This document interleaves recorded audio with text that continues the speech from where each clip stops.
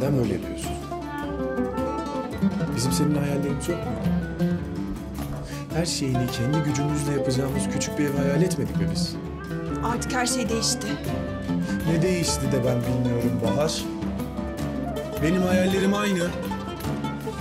Benimkiler aynı değil ama. Baban almış evi. Sizin için. Oradan aldı niye yeter ki kiraya bile yetmiyor. Çok ağladı kız, çok üzüldü. Vallahi çok zor teselli ettim.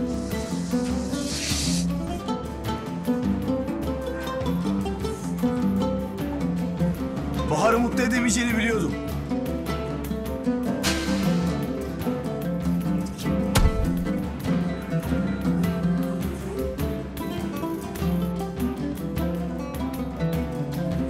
Merhaba Nergis. Kemal Bey, siz şirkete gelir miydiniz? Abime bir uğrayayım dedim. Babama haber verme ama tamam. Cüneyt Bey odasında. Sağ ol.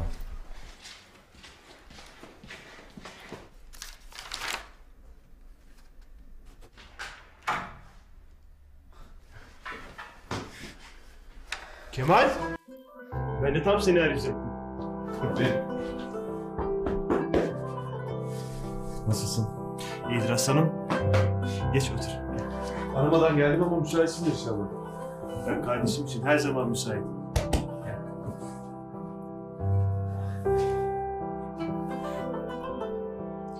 Yok.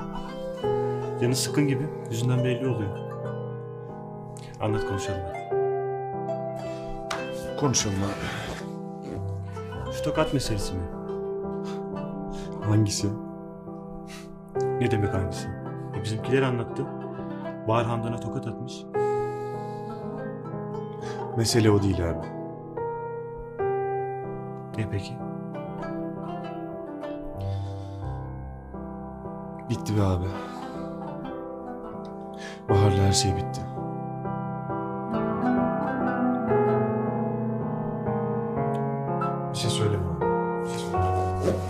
Akıllı ettim. Delirdim. Ama bunu nasıl yapar abi yani? O evi nasıl kabul eder? Ne olursa olsun. Hiç iyi yapmamışsın. Biliyorum. Zaten hatırladıkça. Ya ben bunu Bahar'a nasıl yaparım? Ya ama abi onun yaptıklarını bir görseydin. Kendime yediremiyorum anladın mı? Kabul edemiyorum abi.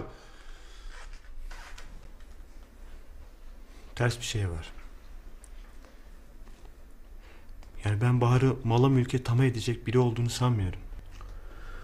Bilmiyorum abi. Ben de öyle düşünüyordum ama. Son zamanlarda öyle şeyler yaptı ki. Kafam karışık. Sence onu affetmeli miyim? Bak Kemal. Ben Bahar'ı az çok tanıdım. Benim tanıdığım kız bu kız değil. Yani babam çok ısrar edince kıramamıştır. Babamı biliyorsun. Hayatlarımıza karışmayı çok sever. Hatayı Bahar'da bulma. Böyle bir kız değil. Muhtemelen babamla aranızın düzelmesi için yapmıştır. Ne bileyim ben bunu. Ya şu anda her şey çok düzgün gidiyor. Bozulmasından korkmuştur.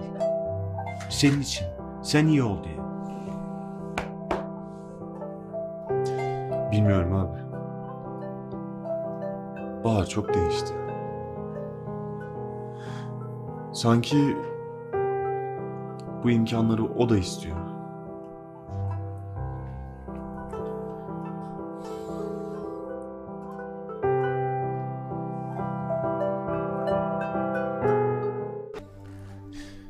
Ya ne yaparsa yapsın ben onu çok seviyorum be abi.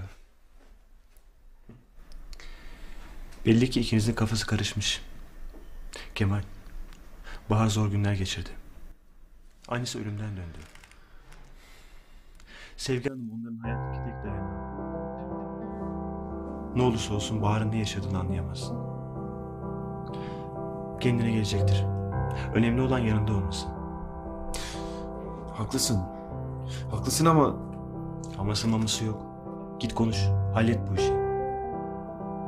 Ya Bahar'a tokat atmak kabullenilir bir şey değil. Feride bana onca şey yaşattı. Bir kere bile elimi kaldırmadım. Kaldırmam da. Bize yakışmaz. Şimdi git konuş. Halledin bu işi. Birbirinizi affedin. Hadi.